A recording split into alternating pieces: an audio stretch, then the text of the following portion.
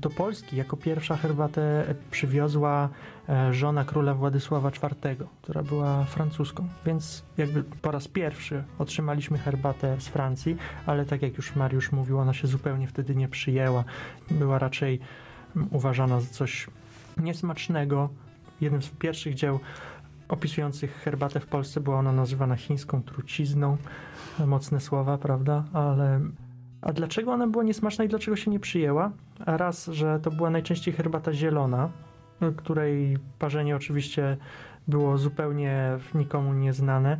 I herbata zielona do dzisiaj wiele osób nie zdaje sobie sprawy z tego, że dla herbaty zielonej ważna jest świeżość, ważna jest jej dobra jakość, a w tamtych czasach, kiedy sama droga morska zajmowała kilka miesięcy i to i ta herbata nie była raczej zbyt dobrze zabezpieczona, a dopiero później z Anglii trafiała do Polski, no możemy się spodziewać, jakiej jakości była to herbata zielona i że raczej była trudna do zaakceptowania dla polskiej szlachty i nie tylko. To może teraz zadam pytanie, jak teraz zacząć swoją przygodę z herbatą? Czy są jakieś takie podstawowe gatunki, które każdy powinien spróbować? No powiem tak, y, podstawą to jest w ogóle doświadczenie, tak? Więc ja zawsze doradzam, aby każdy maksymalnie mógł spróbować różnych gatunków, tak? E, herbat. E, dlatego, że no, na różnych etapach swojego życia różne rzeczy nam smakują. To jest jakby niesamowita przygoda w sensie takiej eksploracji różnych właśnie smaków, różnych właśnie też gatunków, jak one pachną, e, jak, jak one też oddziaływują na nas. To jest, to jest bardzo jakby niesamowite. Natomiast jakby, żeby znaleźć coś takiego, co nam osobiście e, smakuje, e, no to trzeba jakby rozpocząć dopiero taką przygodę. Natomiast e, co jest też takiego, ja myślę, że jednak bardzo ważnego, to nie rzucanie się od razu na takie herbaty, można powiedzieć, absolutnie z najwyższej półki. Wydaje mi się, że taką metodą bardzo taką rozsądną jest metoda krok po kroku, właśnie po prostu wprowadzanie się w, w świat herbaty na podstawie po prostu dobrych, ale jednak podstawowych dość herbat, które są bardzo pełne, bardzo takie obfite, mocne, e, bardzo właśnie charakterystyczne, bardzo aromatyczne.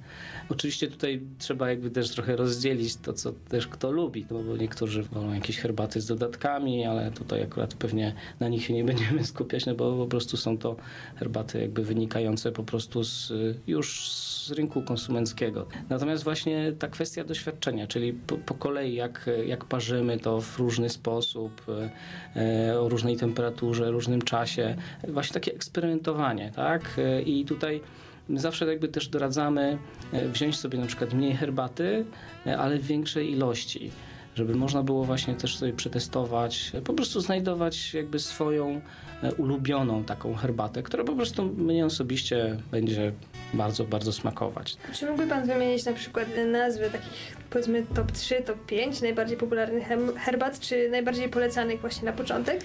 Znaczy to jest bardzo trudne w ogóle, bo bo rzeczywiście jakby tych, tych herbat takich, które jakby są w ogóle z pierwszej ręki polecane, to mogłem 30 wymienić. No mamy ich kilkaset, więc, y, więc to i tak jest bardzo niewielki wycinek, najczęściej około kilku procent. No ale tak, mogę oczywiście. Kwestia na przykład herbaty zielonej. No mało kto wie, że dobrze zaparzona właśnie herbata zielona nie musi być ani gorzka, ani cierpka. I to, to jest w ogóle niesamowite. To jest po prostu prawie dla niektórych jak odkrycie, no, na pewno nie Ameryki, tak, ale yy, wielki potencjał, który tkwi właśnie w herbacie zielonej, yy, jest bardzo często niewykorzystywany właśnie ze względu na to, że nie tylko, że ludzie nie umieją parzyć, tylko, że jakby w głowach najczęściej mamy to, że ta herbata jest właśnie gorzka, cierpka, no i taka niezbyt przyjemna, ale zdrowa. To wolę sobie ją, ją zaparzyć, bo jest zdrowa. I to są takie e, elementy, które właśnie my też próbujemy też troszeczkę podpowiadać. E, staramy się pokazywać właśnie w jaki sposób też parzyć tą herbatę, tak aby była po prostu przyjemna. Nawet można powiedzieć słodka. Sama w sobie herbata zielona może być słodziutka. To jest właśnie niesamowite. To jaki jest sekret w takim razie zaparzenia zielonej herbaty? No to też zależy od gatunków, natomiast y, na pewno temperatura. Później kwestia oddzielania liści od naparu po określonym czasie. e, na przykład herbata japońska, powiedzmy taka sęcia, już takiej, można powiedzieć, nie podstawowej, ale też delikatnie wyższej jakości, na przykład sęcia Kogoshima albo sęcia Miyazaki. Akurat to są nazwy regionów japońskich, z których pochodzą te, te sęcie, e, czyli herbata japońska, e, zielona. No to na przykład y, warto wtedy ją zaparzyć, y, powiedzmy pierwsze parzenie na minutę. Mniej więcej daje się około 8 gram e, liści na jakieś 500-600 ml, jeśli parzymy w tym takim tradycyjnym, w sensie Japo nie japońskim, tylko naszym zachodnim stylu parzenia. I proszę mi wierzyć, taki napar zaparzony na minutę wydobędzie mnóstwo słodyczy z tej herbaty. Natomiast kluczem oczywiście jest temperatura, czyli ona nie może być e, zalana wrzątkiem, ale powinna mieć maksymalnie 80 e, stopni te takie bardzo wysokiej jakości właśnie herbaty japońskiej są bardzo też wrażliwe. Im bardziej odsłonięty ten liść, taki, no można powiedzieć, narażony na różne e, ewentualności gdzieś tam przy przechowywaniu, czy też przy transporcie, tym, tym sugerujemy zawsze, żeby ta temperatura była po prostu trochę niższa. Dlatego też bardzo wysokiej jakości na przykład herbata sęcia powinna być nawet czasami zaparzona w temperaturze 65 stopni, no, no do 70-75. Jeśli są takie herbaty, które chcemy, no, można powiedzieć, szybciej wydobyć z nich tą esencję, ten napar, możemy właśnie spokojnie czasami zalewać tym, tymi 80-85 stopniami, ale nie powinien być to jednak wrzątek. W sensie... A wygrzewamy wcześniej naczynia? No, na Można pewno to pomaga. Spot, tak. Taki, taki, sposób parzenia. Tak, no cały, cały proces parzenia, y, jeśli na przykład chcemy można powiedzieć, doświadczyć, to jest takie delektowanie się też herbatą w pełni, no to właśnie zaczynamy od tego, żeby ogrzać czajniczek, czy też jakiś dzbanek. Najczęściej są to dzbanki szklane, e, spotykane, które są po prostu też e, świetne, bo widać tą herbatę doskonale. I, i wtedy po prostu takie ogrzewanie, czyli wlanie tam wrzątku, później przelanie go z powrotem do, do nawet do czajnika, powoduje, że te ścianki są naprawdę bardzo gorące, w sensie bardzo ciepłe i wsypując tam herbatę, od razu potrząsając ją właśnie w tym, w tym imbryczku, czy też takim dzbanku, możemy doświadczać właśnie niezwykłych aromatów, ponieważ już wtedy wydzielają się te olejki eteryczne, które są no, po prostu w każdej herbacie. Oczywiście im bardziej herbata świeża, a w przypadku herbat zielonych jest to bardzo ważne, żeby ona była świeża, dlatego że mniej więcej po 3-4 miesiącach od e, zbioru już zaczyna się ten taki proces, gdzie ta herbata troszeczkę traci na tej swojej jakości. No i w momencie, kiedy parzymy taką herbatę, na samym początku, jak ogrzejemy, wydobędziemy ten aromat, y, mamy no, możliwość właśnie delektowania się tym, tym aromatem. No i później zalewamy tą herbatę odpowiedniej temperaturze wodą e, i mamy do czynienia z tym, że po prostu to naczynie dłużej też e, utrzymuje tą temperaturę. Jeśli ono jest ogrzane, to ta temperatura nie spada nam jakoś tam drastycznie. Przykrywając jeszcze ten imbryk czy też dzbanek, mamy też tą pewność, że, że ten napar będzie się po prostu stabilnie parzył w tej temperaturze przez ten okres, kiedy po prostu chcemy, że ta temperatura nam nie spadnie i po prostu herbata się dość dobrze zaparzy. No oczywiście zachęcamy do tego, żeby wielokrotnie parzyć takie herbaty zielone. Może tak w skrócie też powiem, co się na początku wydziela, to jest całe bogactwo różnych, różnych składników, więc na początku są to właśnie te olejki eteryczne, które rzeczywiście wydzielają się mniej więcej w pierwszej minucie parzenia. Tak samo jak taki dość duży wyrzut teiny do właśnie naparu. Dlatego też sugerujemy zawsze, żeby, że lepiej jest też przykrywać w ogóle taki napar, który parzymy. Ze względu na to, żeby te olejki eteryczne nie, nie uleciały, no one są też dość cenne. Później następuje właśnie taka sytuacja, w której y, cały czas się wydziela teina, natomiast po dwóch minutach parzenia, jeśli by ktoś parzył właśnie w taki sposób daną herbatę, i to właściwie dotyczy praktycznie każdej herbaty, po dwóch minutach zaczynają się wydzielać garbniki. Zaczynają się wydzielać również aminokwasy typu L-teanina, po pięciu minutach zaczynają się z kolei przeciwutleniacze wydzielać, więc my zawsze sugerujemy, by troszeczkę poeksperymentować, bo jeśli ktoś chce wydobyć maksymalnie właściwości danej, danej herbaty, to super jest ją zaparzyć właśnie wielokrotnie. Po prostu dla smaku, dla takiego delektowania się tym smakiem. Ona jest wtedy bardzo intensywna, bardzo pełna, bardzo aromatyczna.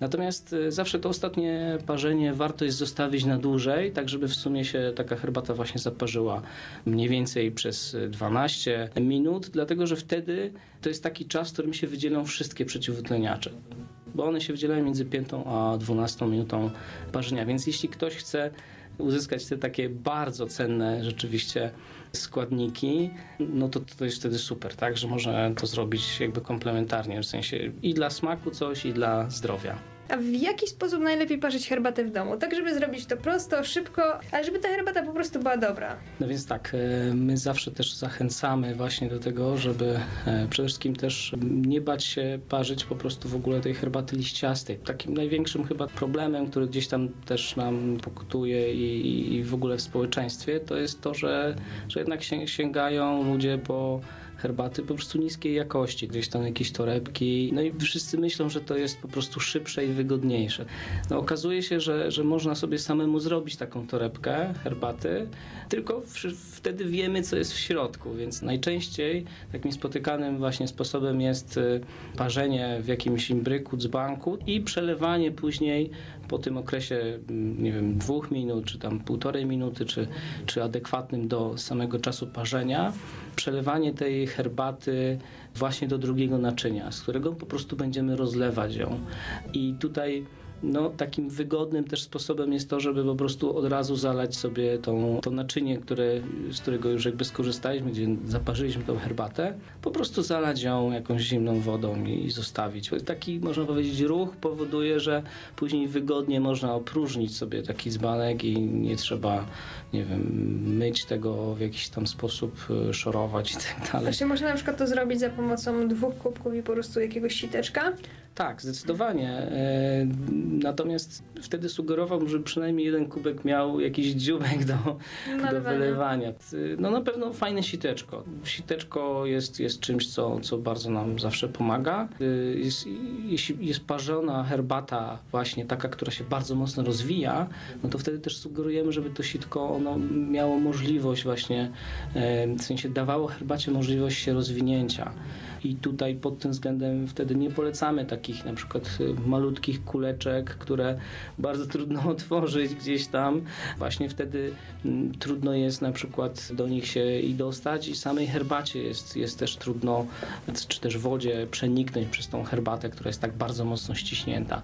E, dlatego wtedy sugerujemy wtedy takie zaparzycze, które są po prostu o większej objętości zawsze. Ale te filtry Podobnie jak i teraz takie urządzenia, które się nazywają T-Makery.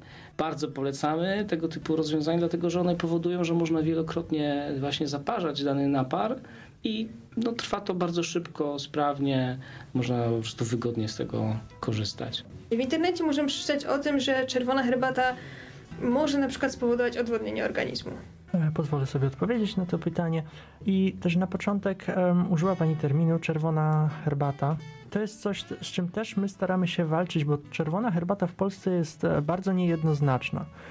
Kiedy przychodzą do nas klienci, mówiąc czerwona herbata, najczęściej mają na myśli puera. I myślę, że to też e, miała Pani na myśli właśnie mówiąc to jest czerwona. Ta herbata w powiedzmy w kostkach, tak? Bardzo często tradycyjnie pasowana w kostki, w e, jakieś inne formy również, ale czasami też e, przez czerwoną herbatę e, może ktoś mieć na myśli rojbosa, czy tradycjonaliści, tacy ortodoksi. Czerwoną herbatą nazywają to, co powszechnie się przyjęło jako czarna herbata, bo w języku chińskim, w języku japońskim właśnie to, co my nazywamy czarną herbatą, jest nazywane czerwoną. I nawet są herbaciarnie, które używają takiej terminologii. Czerwona herbata e, do herbaty tej, która się przyjęła jako czarna w Europie.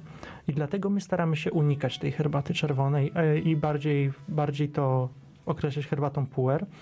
E, to takie zaznaczenie. A teraz przejdę do istoty tego pytania. Czy herbata puer może jakoś wspomagać odchudzanie? Tak, może.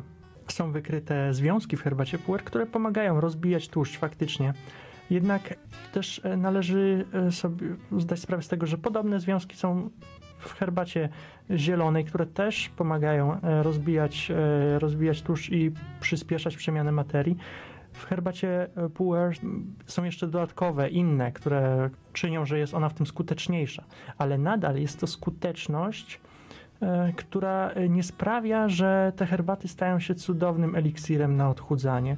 Mogą być dobrym e, wspomożeniem tego odchudzania, dlatego też e, nie polecamy, żeby ktoś się zmuszał do picia jakiejś herbaty. Najlepiej, żeby to była herbata, która smakuje i wtedy ona będzie sama wchodzić i pomagać w tym odchudzaniu w jakimś tam pewnym stopniu. Na pewno nie w bardzo wielkim, ale, ale zawsze w jakimś. No a przy okazji będzie to przyjemne. Więc jeśli ktoś nie lubi puera, to uważam, że nie musi się do niego zmuszać. Może wybrać zieloną herbatę, może wybrać, e, może wybrać herbatę białą i to też będzie miało swoje efekty. Albo herbatę ulung, gdzie Albo też rzeczywiście no, to są badania dość też świeże, że 12% jest przyspieszone po prostu przemiany materii. I to jest też jeden z, z, jakby z takich kluczowych e, związków, a w tym aspekcie właśnie ewentualnego wspomagania e, w tym procesie. Wspomniał Pan jeszcze o rojbosie, tak pokrótce jakby Pan mógł powiedzieć, czym jest rojbos? Rojbos jest e, bardzo wdzięczną roślinką, bardzo daje fajny napar. Nie jest herbatą, należy powiedzieć. My też zajmujemy się sprzedażą rojbosa, bo sprzedajemy także oczywiście zioła. Rojbos to jest napar z czerwonokrzewu, który rośnie w Ameryce, w Afryce Południowej, oczywiście w Republice Południowej południowej Afryki, w górach Cederberg, o bardzo takim przyjemnym, miodowym smaku z, z waniliowym aromatem, jeśli to jest świeża, dobrej jakości herbatka Rooibos. E, no i to jest świetna alternatywa czasami dla herbaty, jeśli chcemy ograniczyć kofeinę, bo czy teinę. E, Rooibos nie zawiera zupełnie tej kofeiny, e, za to zawiera dużo witamin, jest bardzo łagodny dla żołądka, i generalnie no po prostu smaczny. Tak, no i polecamy też głównie właśnie na, na fajne wieczory tego typu herbatę, no bo spokojnie można po niej usnąć. A czasami przy takiej zielonej herbacie, nawet jak się ją wypije gdzieś koło godziny 18, no to może być z tym problem.